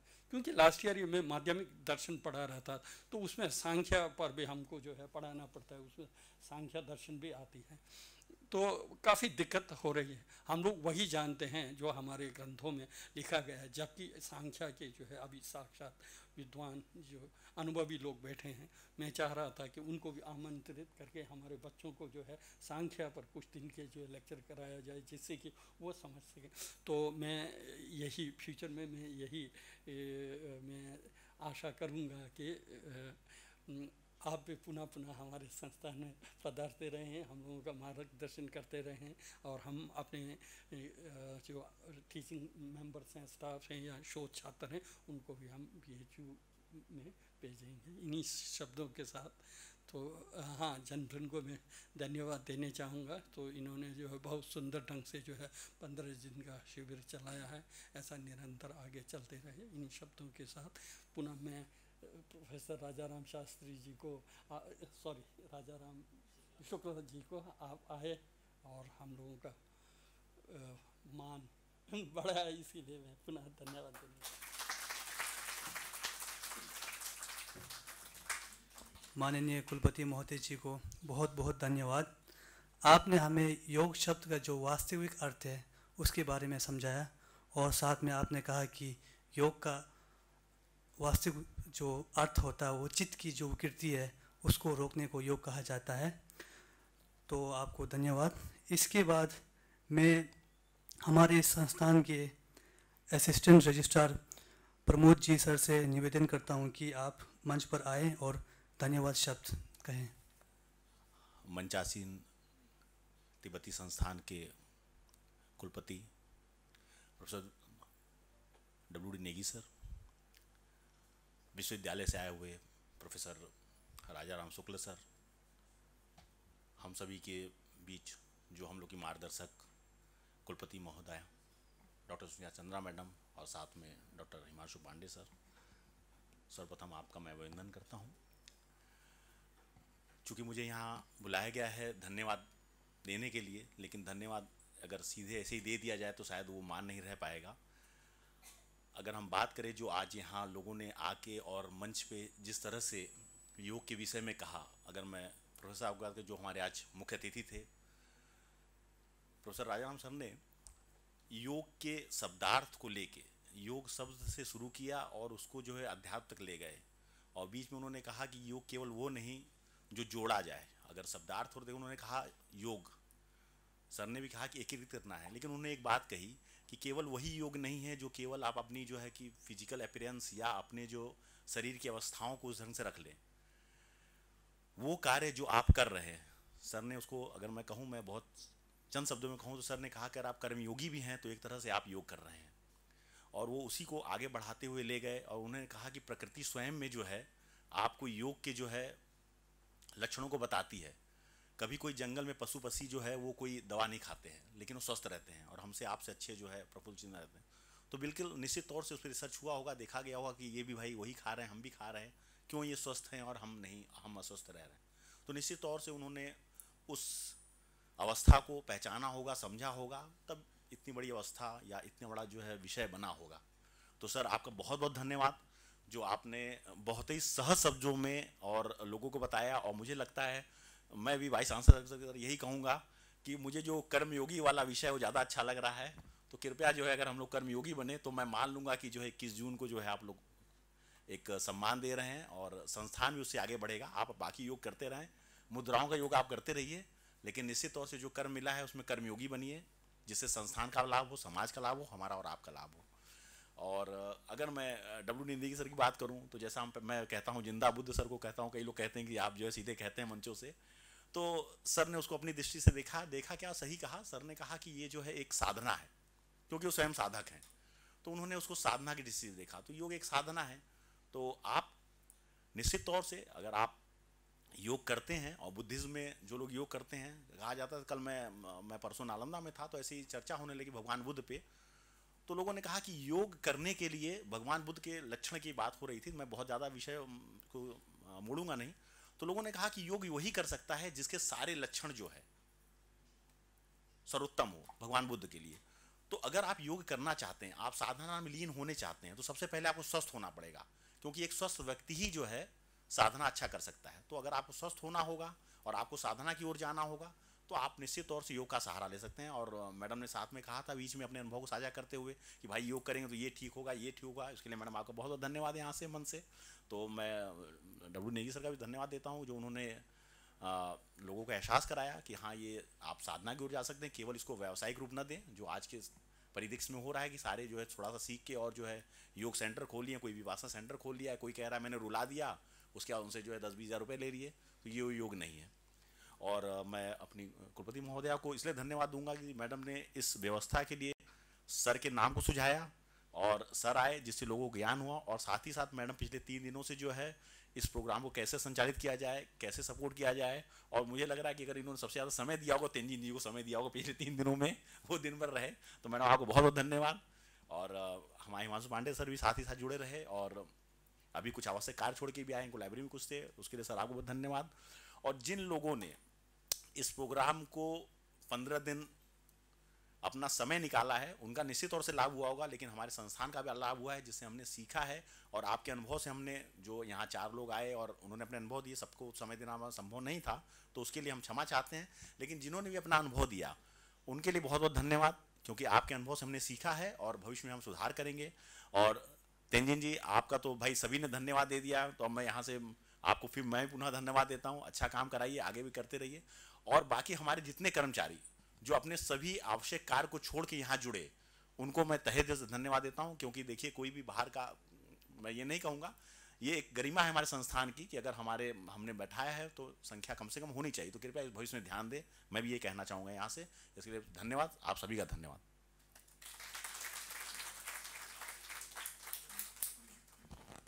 धन्यवाद, सर। इसके बाद अब एक ग्रुप फ़ोटो सेक्शन होगा। योग।